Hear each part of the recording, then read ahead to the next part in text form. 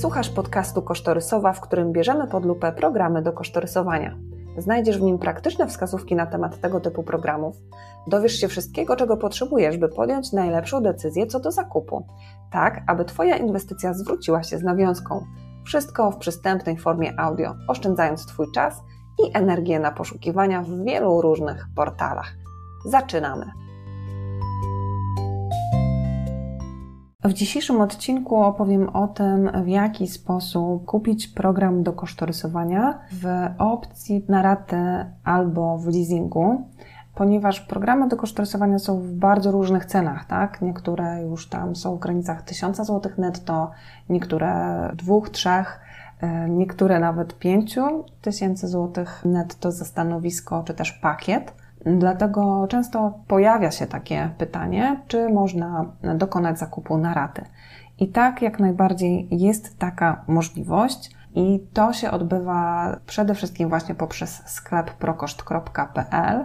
Tam znajdziecie opcję płatności przez PayU, które umożliwia właśnie wybranie sobie rat, czyli po prostu wybierając opcję płatności, klikacie PayU, raty PayU i tam już przechodzicie do strony z wnioskiem kredytowym uzupełniacie swoje dane i tu zakup tak naprawdę odbywa się na Was z imienia i nazwiska, ale fakturę wystawiamy na tę firmę, na którą chcecie, tak? na którą dokonujecie zakupu, potrzebujecie.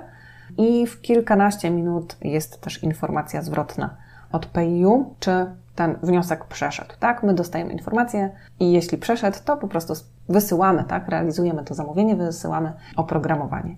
Tutaj, jeśli chodzi o samo przeklikanie się na stronie sklepu, też jest taka instrukcja, instrukcja wideo, co, gdzie, jak kliknąć, żeby z tych rad skorzystać. Druga opcja to jest leasing. I tutaj już leasing bierze się na firmę. Całe raty leasingowe też są rozliczane, wprowadzane w koszta prowadzenia działalności, więc leasing też jest świetną opcją. I tutaj wystarczy po prostu obok danego produktu na sklepie prokoszt.pl kliknąć właśnie ten przycisk weź leasing i tam również mm, będzie przekierowanie do wniosku, do pól, w którym uzupełnia się dane i również w ciągu kilkunastu minut jest informacja zwrotna, czy tutaj leasingodawca przyznał tę opcję i znowu my dostajemy informację, że jest zatwierdzenie albo odrzucenie, tak? Wtedy rozmawiamy o tym, co zrobić dalej, tak? Ile tutaj trzeba poczekać na zakup, czy może jakieś alternatywne oprogramowanie sugerujemy, tak? Jakieś tańsze, jeśli ta dostępność ze względu na finanse jest ograniczona.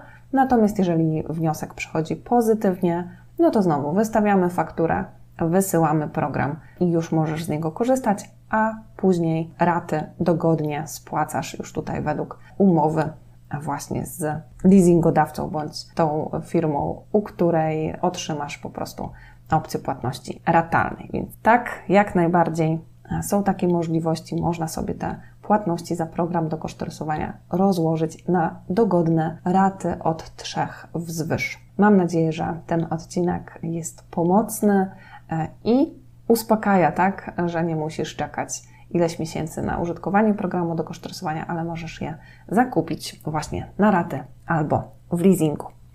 To tyle na dzisiaj. Pozdrawiam.